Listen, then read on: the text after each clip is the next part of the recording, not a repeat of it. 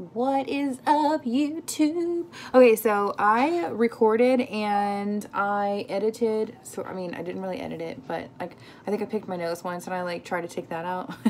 it's because I have a nose ring and like, I don't know.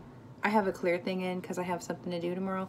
But uh, anyway, so I made this video and I can't upload it because I think I have an attitude toward one of the managers in it and I don't want it to be shown to them right now but I want you to know that there is a video coming and it's talking about my experience since I returned from surgery and my ankle injury and all of that. Um, it is coming.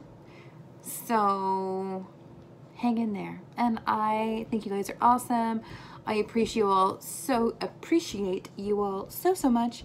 And um sorry I've been a little bit MIA. I guess the holidays mixed with everything I'm dealing with, mixed with frustration, um, has made me not put up any videos, but also I haven't been at work, so I don't know, man.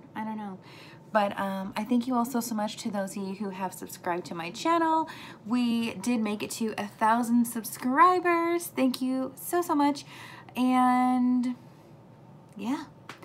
I, uh, my goal in the next couple of days is to hop on the computer so that I can see like new comments on the videos and get back to you guys